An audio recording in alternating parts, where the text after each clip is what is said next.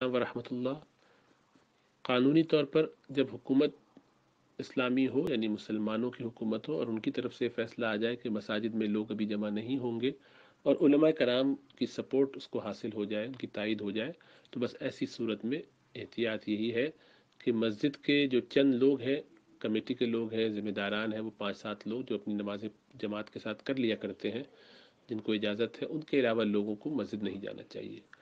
حکومت کی پابندی اگر آئے اور علماء کی سپورٹ اس کو حاصل ہو، تو اس میں یہ خیال رہنا چاہیے کہ ہم اپنے نفس کی اتباع نہیں کریں گے، بلکہ علماء کی اور اول الامر کی بات مان کے چلیں گے۔ یہ اول الامر کی طرف سے جو فیصلہ ہے، اس کو اختیار کرنا ضروری ہے۔ اسی لیے اپنی مرضی سے مساجد میں جا کر حکومتی قانون کی یا فیصلے کی مخالفت نہیں کرنی چاہیے۔ اللہ فرماتے ہیں عطی اللہ و عطی الرسول و اول الامر منکم جو تم میں اللہ اور اس کے رسول کی اطاعت کریں اور اول الامر یعنی جو تم میں بڑے ہیں، تمہارے حکمران ہیں، فیصلے کرنے والے ہیں، ان کی بات مان کے چلو، ان کی بھی اطاعت کرو۔ تو ان کی اطاعت کرنا ہم پر فرض ہے۔ یہ وقتی ایک چیز ہے، ہمارے لیے ایک پابندی ہے، ایک مجبوری ہے۔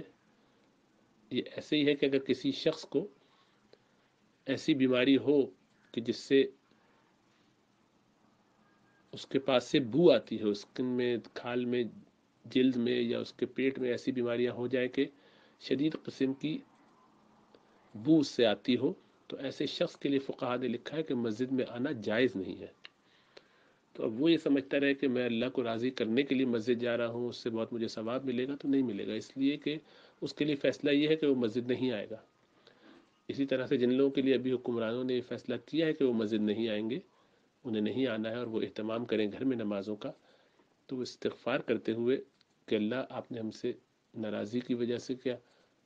ایسا تو نہیں مسجد کے دروازے بند کر دیے ہوں۔ جب مسجدیں کھلی تھیں تو ہم نے ناقدری کی، یا اس کی سزا تو نہیں۔ اس پر خوب اللہ سے استغفار کرتے رہیں اور اپنے طور پہ گھر میں نماز پڑھیں اور دل میں خواہش رکھیں کہ جلد از جلد مسجد کھلے۔ تو ہم بھی جائیں مسجدوں میں، ان کو دوبارہ آباد کریں۔ اور پہلے جو ہم نے ناشکرہ پن کیا ہے مسجدوں میں نہ جا کر یا جانے کے باوجود مسجدوں میں دنیاوی باتوں میں لگے رہنے کی وجہ سے، دنیاوی کاموں میں لگے رہنے کی وجہ سے، تو آئندہ ایسا نہ کرنے کا عزم کر کے رجوع اللہ کرتے ہوئے اللہ سے مانگتے رہیں اور گھروں میں نماز پڑھیں۔ تو جو لوگ گھر میں اس وقت نماز پڑھیں گے، وہ ان شاء اللہ تعالیٰ زیادہ اجر کے بھی مستحق ہوں گے۔ اور ان شاء اللہ تعالیٰ ان کا نفس بھی زیادہ مزکہ اور مجلہ ہوگا۔ اس احساس کے ساتھ کہ ہمیں اپنی اصلاح کرنی ہے۔ اور جب مسجدیں کھلیں گی تو ان کو یہ احساس ہوگا کہ الحمدللہ اب ہم اس کی زیادہ قدر کریں گے اور آئندہ اس سے بچیں گے کہ مسجدوں کی بے حرمتیاں کی جائے، توہین کی جائے، موبائل فون پہ اپنے میوزیکل ٹیون لگاتے ہیں اور گانے چلاتے ہیں اور اس کی تیز تیز آواز آتی ہے، مسجدیں گونج جاتی ہیں۔ اور ہمیں یہ احساس نہیں ہوتا کہ ہم کہاں ہیں۔ مسجدوں میں آ کے دوستوں سے بات چیت شروع کر دیتے ہیں، اونچی اونچی آواز میں بولتے ہیں، دوسروں کی نمازیں اور قرآن پڑھنا دوبھر ہو جاتا ہے۔ اسی طریقے سے فون پہ لگے ہیں، اپنے لوگوں سے تبصرے تذکرے ہو رہے ہیں اور احساس نہیں ہے، جلدی سے مسجد آخری رکعت میں پہنچے اور سلام پھیرتے بھاگتے ہیں، وہاں سے جیسے کہ آزاد کر دیے گئے تھے اور چھوٹے ہیں۔ ابھی چند لمحے بیٹھ کے اللہ کو یاد کرنے کے لیے نہیں نکال سکتے ہیں۔ تو یہ ساری جو ناقدریاں ہم نے مسجد کی کی ہیں، تو اس کی سزا تو ملنی چاہیے۔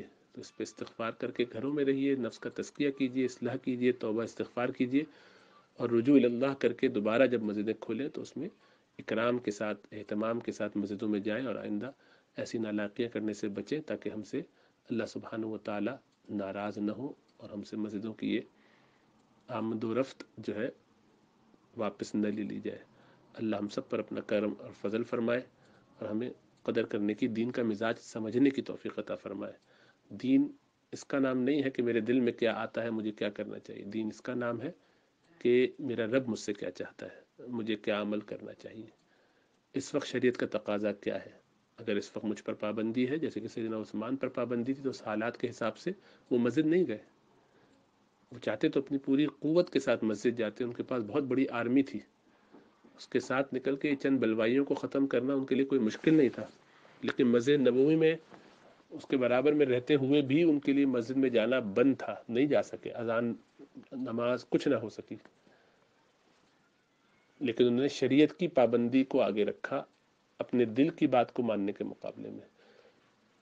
اور وہ لوگ جو آج کل بہت حوصلے کے ساتھ ہمت کر کے دوڑتے بھاگتے مسجد جاتے ہیں، یہ لوگوں پر یہ بھی اپنا دکھانا چاہتے ہیں تذکیہ کہ ہم بہت ہی خاص قسم کے لوگ ہیں۔ دنیا تو اس وقت گھروں میں ہے، ہمیں اللہ پر بڑا بھروسہ اور توکل ہے۔ ہم اللہ کے گھر جائیں گے۔ یہ نفس کے دھوکے اور نفس کے چکر جو ہیں، ان سے اپنے آپ کو بچانا چاہیے۔ نفس ہمیں کس طرح دھوکہ دیتا ہے؟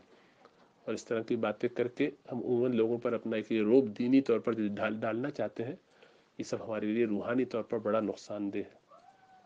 بڑوں کی طرف سے جب کوئی بات آ جائے تو بس اس کو قبول کرنا چاہیے، جھک جانا چاہیے اس کے آگے کہ ادب سے یہ بات علماء نے متفقہ طور پر پاکستان کے مجتہد ائمہ نے یہ کر لیا ہے فیصلہ، تو بس اب ان کے ساتھ ہے۔ خواہ انہوں نے یہ کام پریشر میں کیا ہو، فیصلہ ان کا تھا، انہوں نے کر لیا۔ خواہ انہوں نے یہ سمجھ کے کیا ہو کہ ان کو جو انفارمیشن ہے اس کی بیس پہ وہ صحیح یا غلط، ان کے اشتہاد میں غلطی ہوگی تب بھی ایک ثواب ہوگا۔ اور ہمارے اپنے جاہلانہ اشتہاد میں ٹھیک بھی ہوا معاملہ، تب بھی ہمیں ثواب نہیں ملے گا۔ تب بھی ہمارے لیے پکڑ ہے۔ فقط فقط اختہ فرمایا۔ ہمارے لیے اس میں خیر نہیں ہے۔ ہمارے لیے ہر حالت میں اس میں شر ہے۔ اسی لیے جب بڑوں کی طرف سے کوئی بات آ جائے تو اس پہ عافیت اسی میں ہے کہ عمل کیا جائے اور اپنے چکروں میں نہ پڑھا جائے۔ نفس نفس کے جو تقاضے ہیں ان کو پیچھے رکھا جائے۔ شریعت کی پابندی کی جائے۔ اللہ ہمیں سمجھنے اور عمل کرنے کی توفیق عطا فرمائے۔